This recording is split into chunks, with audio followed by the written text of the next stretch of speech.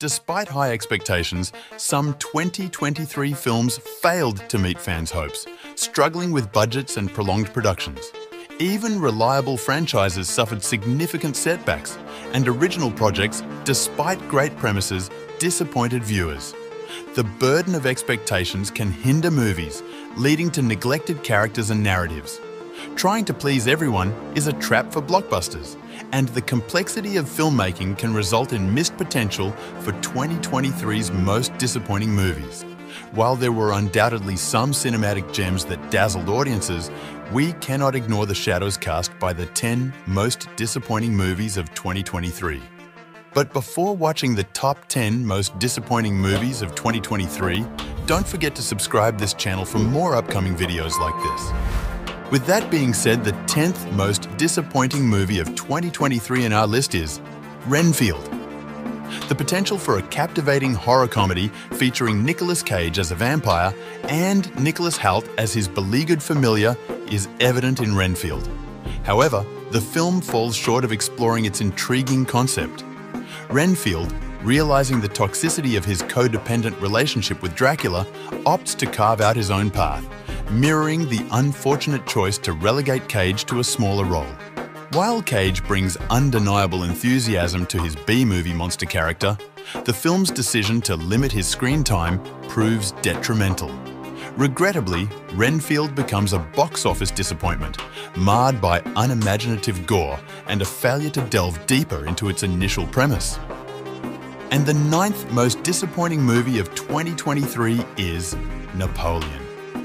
Despite the reunion of Ridley Scott and Joaquin Phoenix, Napoleon, more than two decades after Gladiator, falls short of expectations. While not outright awful, the film surprises with unexpected comedic moments instead of delivering the anticipated epic historical drama chronicling the rise and fall of Napoleon. Historical inaccuracies prove a divisive factor, alienating fans of the genre.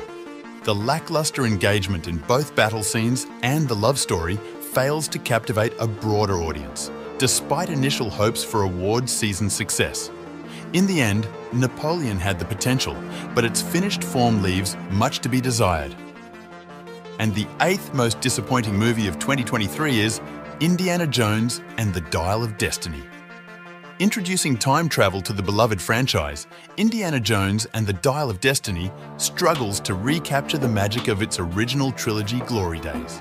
Harrison Ford's enduring charm remains a highlight, and the film boasts moments of genuine tension, notably the thrilling tuk-tuk chase weaving through Tangier's narrow alleys. However, the controversial ending proves divisive, pushing some viewers beyond their limits, exacerbated by convenient plot contrivances scattered throughout the movie. While The Dial of Destiny is generous with fan service, perhaps excessively so, it's crucial to recognise that the iconic hat and whip alone don't define the beloved essence of Indiana Jones. And the seventh most disappointing movie of 2023 is Wish. Promoted as a nostalgic homage to Disney's timeless fairy tales through a fusion of 3D and 2D animation, Wish disappointingly transforms into a clumsy marketing endeavour. Rather than crafting its own enchanting narrative, the film awkwardly relies on a roster of familiar characters, attempting to capitalise on their established popularity. Wish reflects the culmination of modern cinema's infatuation with nostalgia, and the true tragedy lies in its occasional glimpses of that elusive Disney magic when it dares to venture into uncharted territory. Amidst a forgettable soundtrack, the standout moment is the syncopated rhythm of Knowing What I Know Now. And the sixth most disappointing movie of 2023 is Fast X. In recent years, the Fast and Furious franchise has experienced diminishing returns. Following the tragic loss of Paul Walker, each new installment has amped up the stakes and embraced escalating levels of absurdity. Fast X, much like its predecessors, delivers two or three jaw-dropping action moments, thanks to the familiar rubber-burning chaos. However, the overall plot falls short, with Jason Momoa attempting to inject life through his campy portrayal of Dante, the flamboyant yet menacing villain. Despite Momoa's efforts, the film struggles with clunky dialogue, leaving fans with the trademark chaos but lacking a compelling narrative. And the fifth most disappointing movie of 2023 is Magic Mike's Last Dance. While fans of Channing Tatum's shirtless charisma may find some delight in Magic Mike's Last Dance, it doesn't quite reach the levels of its predecessors. For those seeking more than just Tatum's physique, the film offers little beyond a clumsily integrated romance narrative. The spotlight shifts from mesmerizing dance sequences to Mike's relationship with a wealthy businesswoman portrayed by Salma Hayek. Whether attempting to broaden its appeal or deliver a sex-positive narrative of female empowerment, the movie appears to struggle. If it aims to respect its core fanbase, it falls short. If it strives for a meaningful message, it stumbles with an unoriginal and poorly executed approach. And the fourth most disappointing movie of 2023 in our list is Ant-Man and the Wasp Quantumania. Marvel faced an unusually disappointing year, marked by underwhelming performances from both the Marvels and Ant-Man and the Wasp Quantumania, aside from the anticipated success of Guardians of the Galaxy Volume 3. Despite the potential intrigue of Kang the Conqueror as a villain, Quantumania grapples with an excessive effort to establish his character for MCU's Phase 5, resulting in a noticeable absence of the humour that defined earlier Ant-Man movies the film becomes a chaotic blend of exposition and extravagant, maximalist visuals. While the CGI reaches impressive heights at times, the moments of subpar quality are so glaringly ugly that they disrupt the narrative flow and invite unintended laughter. And the third most disappointing movie is The Flash. Despite early challenges and a star navigating a well-publicised downfall, The Flash faced a precarious start.